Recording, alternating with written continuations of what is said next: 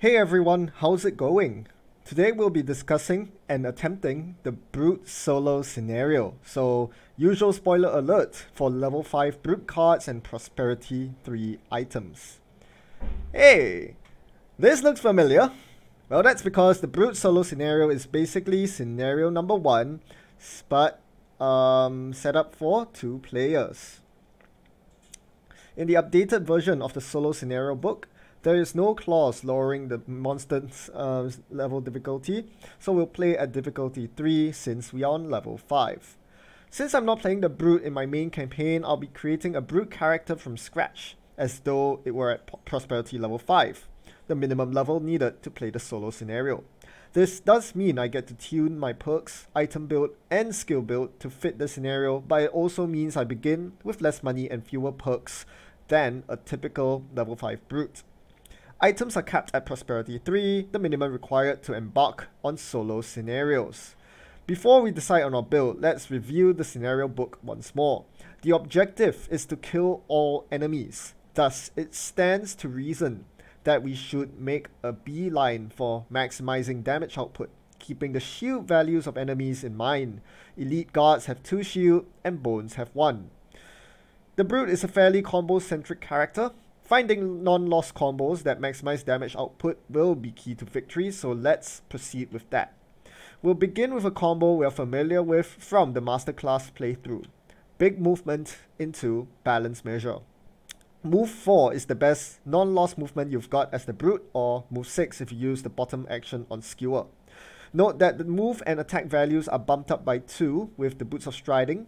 So for the reusable move 4, Fatal Advance fits perfectly because it has a top loss action you only want to use at the end of the game. And a really powerful one at that. Outright kill, bypassing the need to draw from your modifier deck.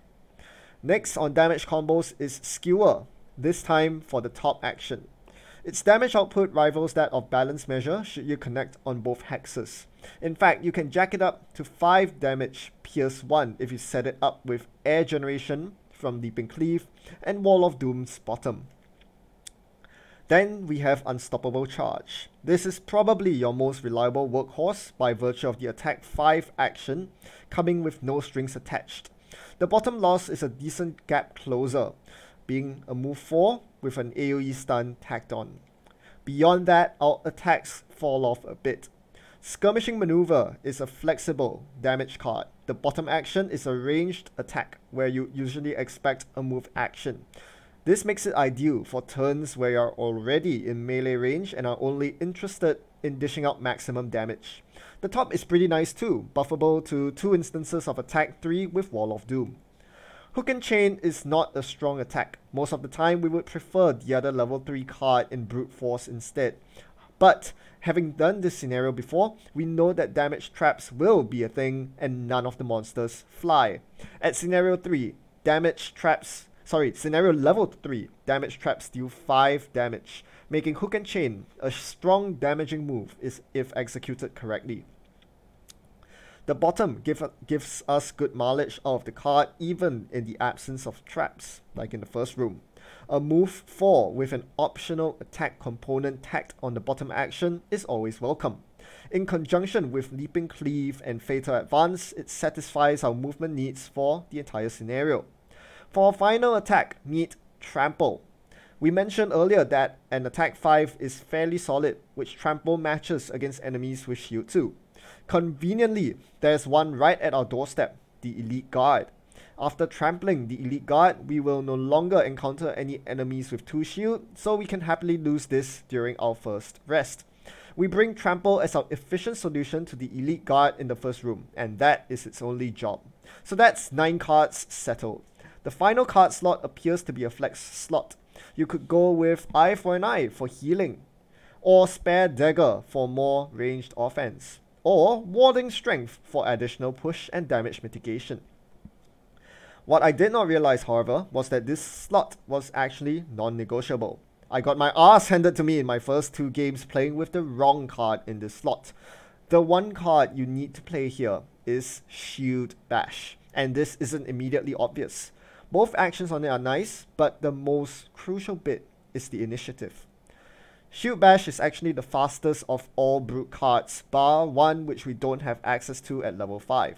And 15 happens to be the perfect number for this scenario. The guards have a pair of Initiative 15 combat cards that are sin- significantly neutered should you beat them in Initiative. As you would know, in the, end, in the event of an Initiative tie, players always go first. This allows you to attack before the guards put their shields and retaliates up, and against the poison attack. You can then resolve the bottom of Shield Bash as a move too, avoiding that nasty poison attack altogether. This knowledge only comes with losing to the solo scenario twice, as I did.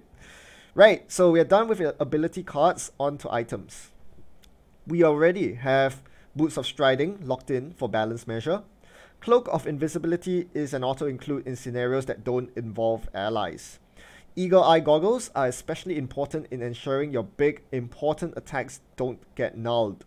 With our final 20 gold, I initially went for the standard minor potions of stamina and health, However, going with offense being the best defense, instead of prolonging the game with health and card recovery, I went for the Battle Axe instead, which allows us to double our damage on big attacks like Balance Measure and Unstoppable Charge, by dealing said damage to two enemies instead of one.